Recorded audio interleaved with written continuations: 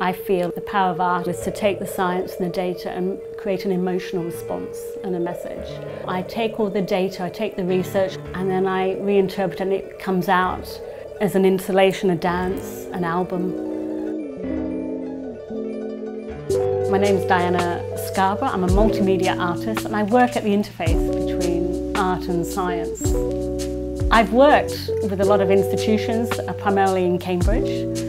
Right now I'm sitting in the Department of Chemical Engineering and Biotechnology and they look at the nano scale of things. I have done a lot of work recently with British Antarctic Survey and then we're looking at the cosmos and I'm working with a space weather scientist and again I think it's the wonder of their research and making that invisible visible is, inspires me. What I want is to combine the authenticity and truth of science and having the freedom to make it into something that hasn't been seen before.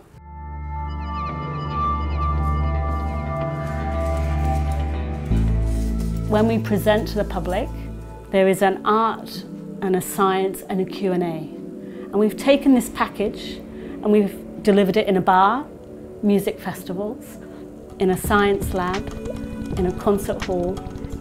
And so the power of bringing in new audiences through art, through spectacle, to actually have a discussion, you know, that I see that's what my role is, to start a conversation and basically make people feel safe enough to ask questions.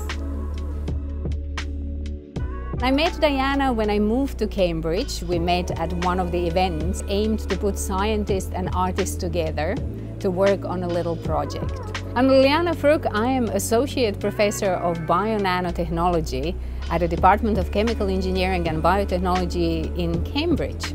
We are actually using bio-inspired nanomaterials and we try to employ them to design more sustainable processes in chemical industry, but also to design new materials for smart drug delivery. So I've always liked the aesthetics of science so throughout my career, I love to work with artists and professionals from other fields to get some new ideas and to also discover new ways of using our own materials beyond medicine and beyond chemical industry. By having Diana in my lab and joining us as an artist in residence, first of all, we just want to have a little bit more of creative fun because we work with nanomaterials, it makes our research more accessible. But it also gives my research team a little bit more insight into questions they wouldn't normally ask themselves. Nanoscale, which is very, very small, is hidden. How do you make that into important visual work that is beyond just illustration? It's that emotional response in combination with facts that makes a difference.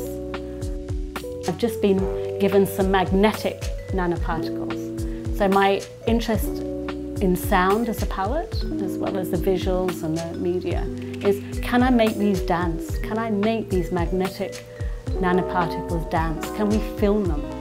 What would happen if we played them some rock and roll or a bit of Beethoven? Here in this lab, they have the opportunity for me to see what is happening. Okay, it's not an answer, it's a process. As a result of that, it can be an animation, it could be anything, but what will happen when sound and the nano meet? What am I going to see? How can I work with that? And that becomes the raw material.